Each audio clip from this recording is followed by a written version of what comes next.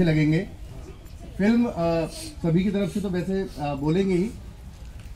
जितनी फ़िल्म बेहतर अच्छी फ़िल्म है एक इमोशन के साथ एक मैसेज के साथ में है और शायद मैं मेरे ख्याल से सभी मेरे से सहमत होंगे कि आरिफ सर ने जितना शानदार इसमें अभिनय किया है है ना? शायद मुझे ऐसा पर्सनली लगा कि कहीं कहीं संजय सर पे भी ये हावी होते नज़र आए हैं। बड़ी उपलब्धि है कि जहाँ जहाँ उनका है मतलब जितना भी उनका करेक्टर है करेक्टर पूरा उन्होंने अपनी पूरी तरह से निभाया तो है ही। पर जिन सीन में उनके साथ हैं तो संजय सर पे भी हावी होते नज़र आए हैं। तो ये बहुत बड़ी उपलब्धि है।